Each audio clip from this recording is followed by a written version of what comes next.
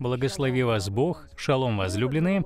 Я продолжаю серию молитвы, которые касаются Бога. Сегодня мы будем говорить о молитвенной жизни Ильи и Соломона. Не пропустите эту важную программу.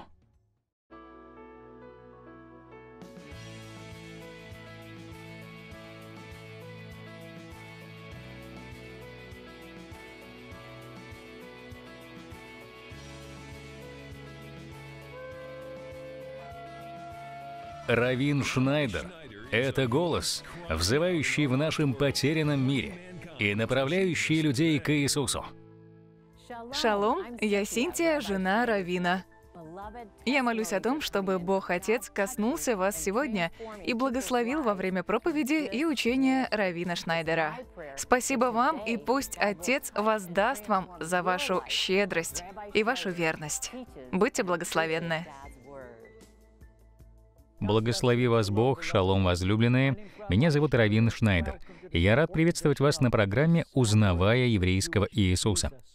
Это середина серии под названием «Молитвы, которые касаются Бога». Мы рассмотрим молитвы Ильи, Елисея и Иовиса. Это три важные, сильные, харизматичные личности со страниц еврейской Библии. В Новом Завете сказано, что Илья был человек, как мы с вами, но он помолился о прекращении дождя, и тот прекратился. Иаков вдохновляет нас, говоря, что наша молитва может тронуть сердце Бога, как его тронула молитва Ильи. Я хочу, чтобы те, кто впервые смотрит эту серию, поняли, для чего мы изучаем эти особые молитвы. Молитвы патриархов еврейской Библии. Они помогают нам понять, какие молитвы получают отклик в сердце Бога. На прошлой неделе мы говорили о Соломоне и его молитве о мудрости. Это было угодно Богу. И также мы обсуждали молитву Моисея. Он просил показать ему славу Божию.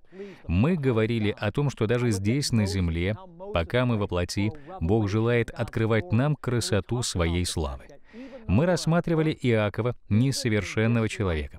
Но из-за его отчаянного желания получить благословение от Бога, Бог изменил его судьбу и благословил его.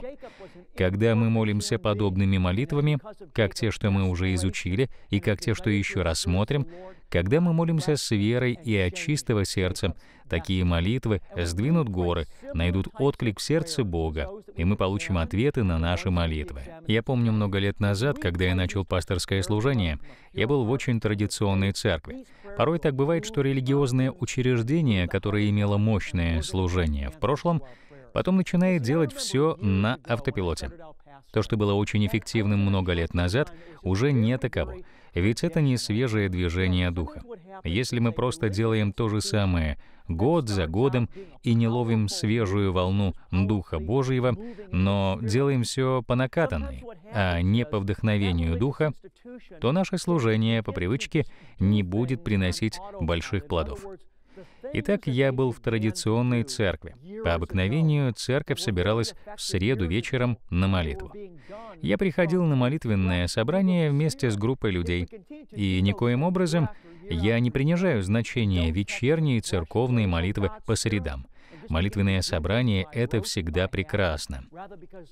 Но я заметил, что люди приходили на это молитвенное собрание неделю за неделей и всегда просили об одном и том же — и, казалось, ответ на их молитву так и не приходил. Нужно было разобраться с серьезным духовным сопротивлением. Мы поговорим об этом в сегодняшней программе. Есть важные просьбы, но несут ли они в себе наибольшую важность? К примеру, нужда здоровья. Конечно, это важно. Но куда важнее молиться о проблемах духа и души, о том, чтобы познавать Бога и получить силу Духа Святого. Они каждую неделю приходили к Богу с этими просьбами, они перечисляли людей, нуждающихся в телесном исцелении, или тех, кто отправлялся в поездку. Да, это тоже важно. Но все это повторялось неделя за неделей. Никто не молился о мудрости, о том, чтобы быть освященным, о том, чтобы Бог омыл грех, чтобы познать Бога на более глубоком уровне. Никто никогда не просил Бога показать свою славу и сверхъестественно проявить себя здесь и сейчас. Я считаю, что я находился в форме религии, лишенной силы. Так почему же я рассказал вам об этом? Возможно, ваша молитва подобна той, какую я сейчас описал. А вы молитесь из чувства долга. Это для вас просто религиозная традиция. Вы недвижимы Духом Божиим в вашем сердце. Вы не просите Бога о чем-то более важном со всем рвением. Говоря о чем-то важном, я имею в виду, к примеру, то, о чем мы говорили на прошлой неделе, о молитве Соломона. Он просил Господа, «Дай мне мудрости, чтобы вести твой народ».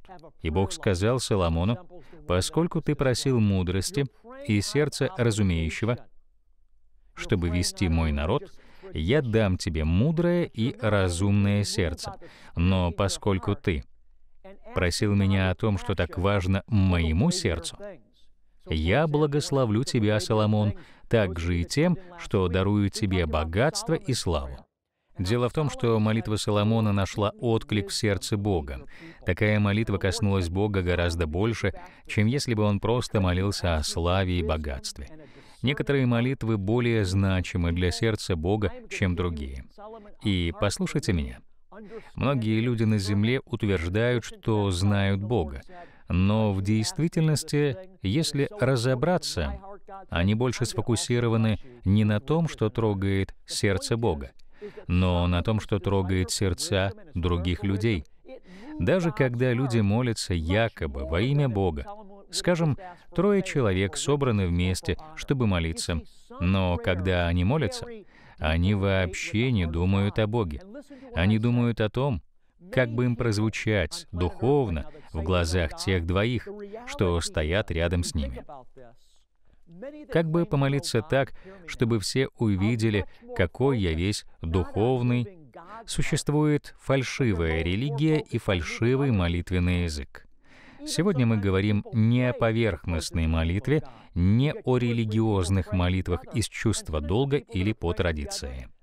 Но сегодня, возлюбленные дети Божьи, мы говорим о молитвах, которые касаются сердца Бога, находят отклик в Его сердце. Поэтому, изучая молитвенную жизнь важных библейских героев, выдающихся людей со страниц Священного Писания, рассматривая их молитвенную жизнь, мы понимаем, какие молитвы трогают сердце Бога. И сегодня я хотел бы, чтобы мы взглянули на Илью. Какая харизматичная личность из еврейской Библии. Книге Малахии мы читаем, там находится мессианское пророчество о том, что перед приходом Мессии сначала придет Илья и возвестит его приход. И когда Иисус был на земле, к нему подошли скептики и сказали, «Ну, если ты Мессия, тогда где же Илья?» Потому что пророк сказал, что перед Днем Господним придет Илья и приготовит ему путь. А знаете, что им ответил Иисус? Иоанн Креститель и есть Илья. А в этом скрывается тайна Писания. Но Иоанн Креститель пришел на землю в силе и в духе, который был на Илье. Илья — это очень сильная, харизматичная личность на страницах еврейского Писания. Илья и Моисей — явились Иисусу на горе Преображения, как две главные фигуры Ветхого Завета. Мы могли бы говорить о многих чудесах, сотворенных Ильей, и о том, как он удивительным образом продемонстрировал Божью славу. Но я хотел бы, чтобы мы открыли с вами Священное Писание и своими глазами все увидели — Посмотрим третью книгу царств, 18 главу. Прочтем с 36 по 39 стих. Мы рассмотрим одну из самых известных молитв Ильи, и потом поговорим, как мы можем это применить в нашей жизни. А вот что говорит нам Слово Божие. Итак, давайте читать. Во время приношения вечерней жертвы подошел Илья пророк и сказал, «Господи Боже Авраамов, Исааков и Израилев, да познают в сей день, что Ты один Бог в Израиле, и что я раб Твой, и сделал все по слову Твоему. Услышь меня, Господи, услышь меня. Да познает весь народ сей, что Ты, Господи, Бог, и Ты обратишь сердце их к Тебе. И не спал огонь Господень, и пожрал все сожжения, и дрова, и камни, и прах, и поглотил воду, которая во рве. Увидев это, весь народ пал на лицо свое и сказал, «Господь есть Бог, Господь есть Бог». Если подумать о сути этой молитвы, Илья молился, чтобы Бог доказал, что Он есть, что Бог Израиля на самом деле истинный Бог. И также Илья молился о том, чтобы Бог подтвердил всем, что Он, Илья, его слуга и все делает по слову Господа.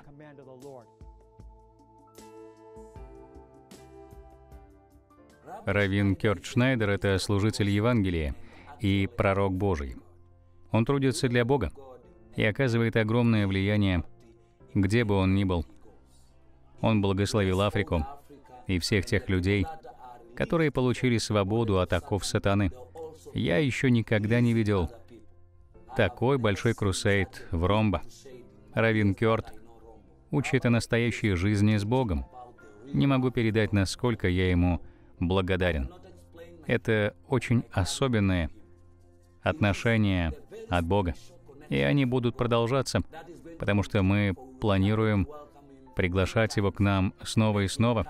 Мы очень рады, что он приехал к нам однажды и ждем его снова. Вернемся к нашей программе. А как насчет вас, возлюбленные? Может, вы тоже окружены людьми, друзьями и членами семьи, сотрудниками и соседями, которые верят в фальшивую религию. Они не верят, что Царь Иисус, Господь Иисус Христос есть Бог. Они не верят, что Иешуа Хамашиах, Иисус Мессия, наш Господь. Возможно, они вообще не верят в Бога, или являются последователями движения «Новый век», или верят в другие религии.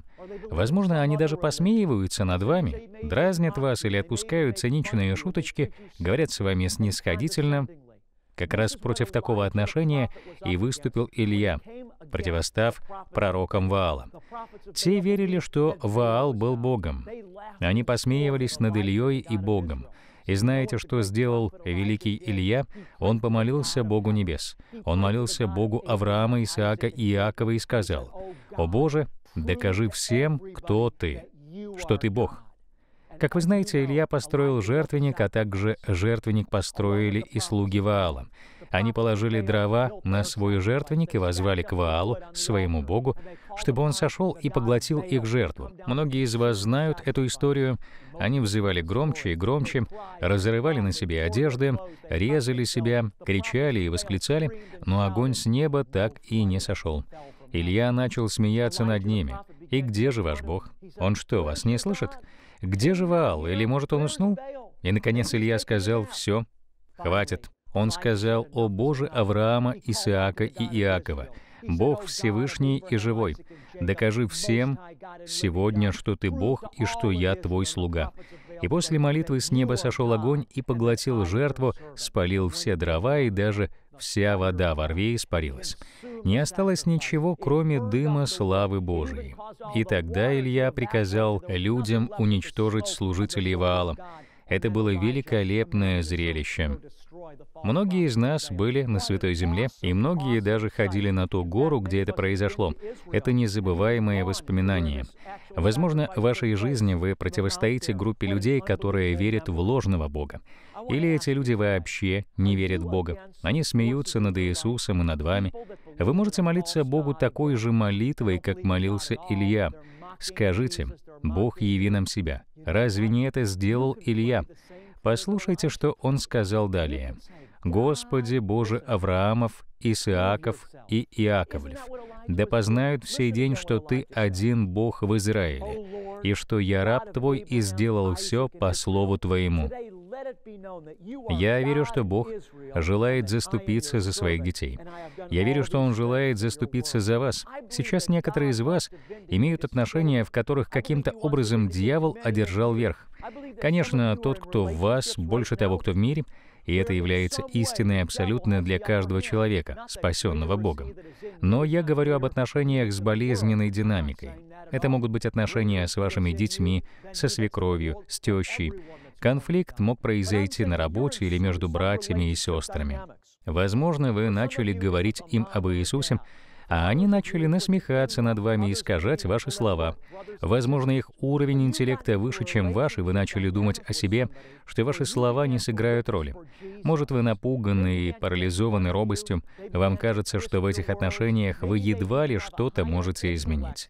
Но Иисус может проявить себя в вашей жизни и в ваших отношениях с этими людьми, как ваш Господь. Я уверяю вас, вы можете воззвать к Иисусу и попросить Его проявить себя, показать всем, что Он Бог. Пригласите Его проявить себя в этих отношениях. Пусть придет огонь с неба, пусть придет Его слава. Если возникла эта пропасть у вас в семье, или у вас с соседом, или с другом, возможно, с вашим сотрудником на работе, я призываю вас, возлюбленное Божие дитя, преклонить колени пред Богом и сделать то, что сделал Илья. Скажите, Бог мой, я люблю Тебя.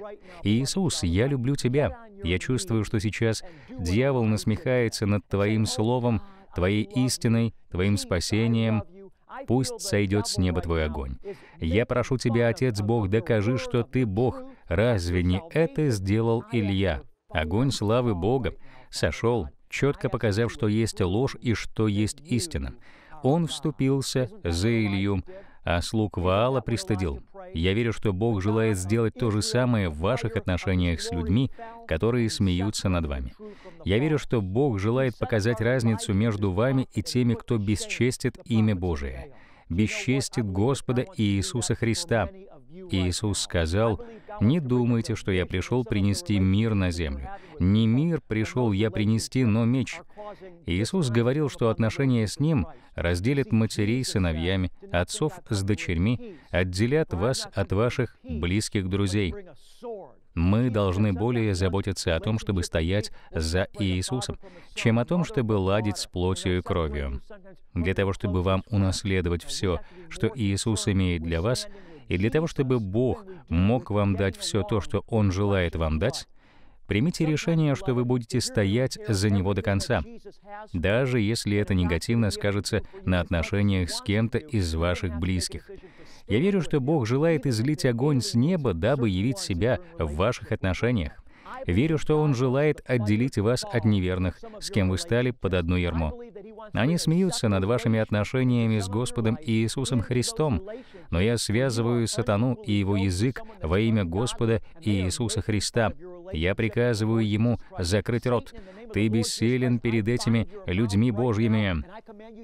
Я хочу вдохновить вас, возлюбленные, ведь Господь сказал, «Испытай меня в этом». Я призываю вас встать на колени перед Господом. я сейчас тоже преклоню колени. Я буду просить Бога, чтобы слава Божия сошла на вашу жизнь. Так же, как это случилось в жизни Ильи, когда на гору кормил, сошел огонь с неба и поглотил всех слуг Ваала. Отец, я прошу Тебя, яви себя, докажи всем, что Ты Бог. Покажи себя здесь, на земле, в сфере влияния Твоего народа. Отец, когда я думаю об Иисусе на земле, Он всегда все держал под контролем, даже восходя на крест. Он смог запретить бури, Он закрывал рты фарисеям и садукеям. Отец Бог, Ты подтверждал Его слова чудесами и знаками. Отец, когда я думаю о ранней церкви, я вспоминаю, как Ты явил себя, когда Анания и Сапфира солгали Духу Святому. Я прошу Тебя являть себя в жизни Твоих детей, чтобы они жили как светильники в этом мире, дабы даже их враги были вынуждены признать, что слава Божия пребывает в их жизни. И если вы находитесь в такой ситуации, что люди не принимают ваших слов, и, возможно, это происходит не из-за того, что с вами нет славы Божией, а потому что вы поступаете глупо. Если мы не ходим мудрости, людям будет сложно принять наше свидетельство, воспринять то, что мы говорим. Я предлагаю вам покаяться в том, что вы ходили в глупости, упрямстве и гордыне. Ваша глупость и упрямство послужили причиной того, что люди не воспринимают вашего слова. Покайтесь сейчас перед Отцом, ведь Бог благ, Он любит вас, Он верен и праведен. Он вас простит и очистит от всякой неправды. Древнее прошло, теперь все новое. Вы новое творение во Христе Иисусе. Возлюбленные, давайте сейчас помолимся. Если на вашем пути стояла глупость и мешала славе Божией проявиться в ваших отношениях, чтобы Бог явил себя в сферах вашего влияния, помолимся о Божьем прощении. Отец, мы хотим поблагодарить Тебя, что через кровь Иисуса и Дух Святой Ты омыл нас от всякой неправды — и мы благодарим Тебя, Отец, что благодаря обновляющей работе Духа Святого в нашей жизни мы изменились и преобразились в образ Сына Твоего, от силы в силу, от славы в славу и благодать на благодать. Отец, и сейчас я провозглашаю над Твоим народом умножение и благословение. Я провозглашаю, что они будут ходить в мудрости, что с этого момента они будут ходить по жизни особым образом, и люди вокруг них заметят, что на их жизни пребывает сверхъестественная мудрость. Отец Бог, я провозглашаю, что Твой народ будет светильником в этом мире, потому что Иисус, Ты сказал, что Твоя цель, чтобы Твой народ был светом на горе, и чтобы весь мир видел в них Твою славу, славу Бога Небес. Пусть люди видят славу Твою на их жизни. Отец Бог, мы хотим поблагодарить Тебя сегодня, что на нашей жизни будет Твоя слава, как она была на жизни Ильи. Благодарю Тебя, Господи, что Дух Святой наш удел, и что мы можем жить в победе в этом мире, являя славу Твою и Твое превосходство всем окружающим нас людям, даже тем, кому мы не нравимся, кто нас отвергает. Они не смогут отрицать тот факт, что на нас Твоя слава. Так же, как слуги Ваала не смогли отрицать то, что сошла Твоя слава. Отец, я провозглашаю, что на Твоей церкви слава Твоя. Твое имя будет превозноситься и возвеличиваться всю нашу жизнь. И также я прошу Тебя о тех Твоих детях, кто страдает от бремени отношений, которые на них возложил не Ты, Господь. Такие отношения не прославляют Тебя и приносят в жизнь Твоих детей поражение. Я провозглашаю, что Твои дети — победители по жизни. Они воскресли и посажены с Тобою на небесах. С этого момента они будут ходить с тобой в сверхъестественной славе. Они еще никогда не ходили в столь высоком измерении твоей славы. Своим хождением они будут доказывать, что ты — Бог, так же, как это делал Илья Духом Твоим, во имя Иисуса и ради славы Иисуса.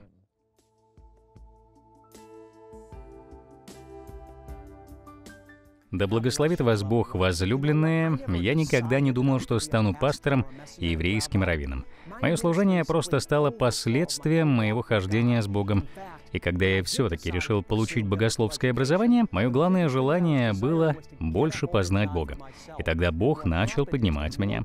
Так началось мое служение. Оно стало результатом моего личного хождения с Богом.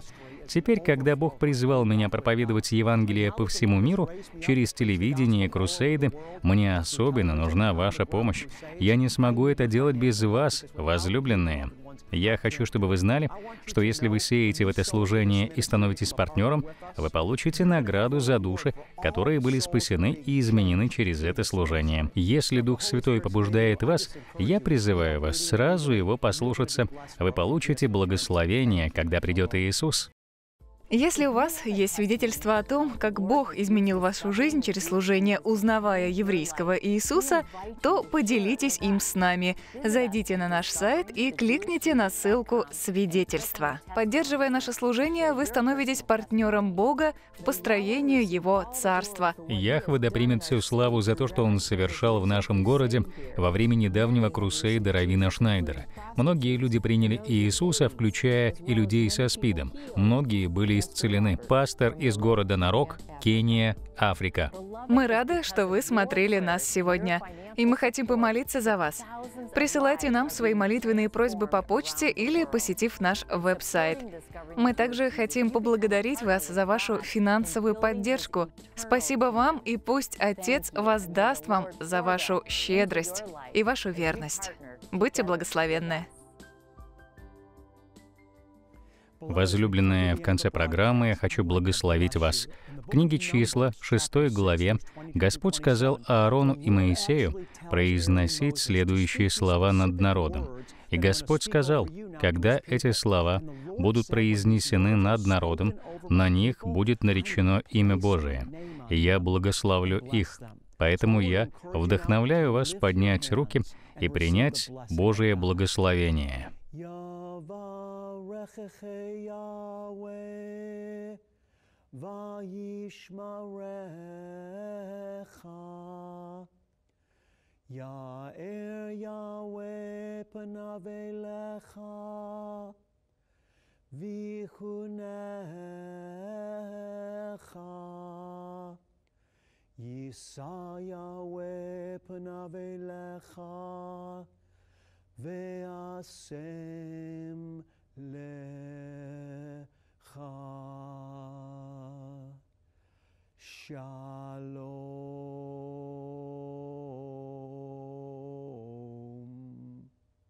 Господь благословит вас и сохранит, да презрит на вас Отец светлым лицом Своим, и да помилует вас, да обратит Отец лицо свое на вас и да укрепит вас, Его дитя».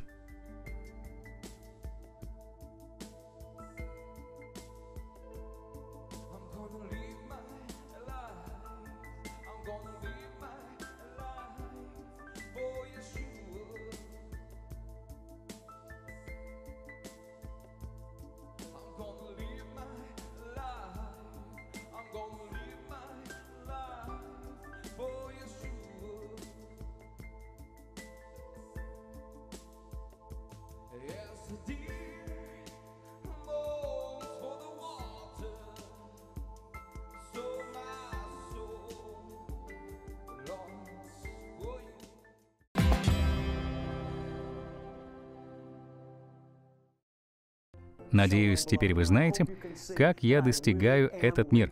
Но без вашей помощи это невозможно. В Библии сказано «благословенны ноги, проповедующих мир и благую весть». Но как они могут это делать, если не будут посланы? Я приглашаю вас стать моим партнером и выслать финансы на достижение новых душ для Господа. Заранее благодарю вас. Пусть Бог обильно благословит вас. Шалом, возлюбленные. Если вы хотите стать нашим партнером, то отправляйте свои пожертвования по адресу, который вы видите на экране. Или же вы можете сделать это на нашем веб-сайте. В благодарность мы вышлем вам аудиопроповедь Равина Шнайдера, а также наш информационный бюллетень. Чтобы больше узнать об этом служении, а также ознакомиться с материалами, написанными Равином Шнайдером, и мессианской музыкой от Джошуа Джеймса, заходите на наш сайт. Телевизионная программа Равина Шнайдера «Узнавая еврейского Иисуса» теперь доступна на русском языке на Ютубе. Равин является евреем, верующим в Мессию Иисуса. Вы получите откровение сегодня для вашего лучшего завтра. Заходите на Ютуб сегодня и посетите «Узнавая еврейского Иисуса».